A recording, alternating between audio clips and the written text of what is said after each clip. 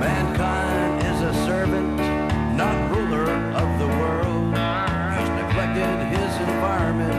Now look what he's unfurled. He's polluted all the water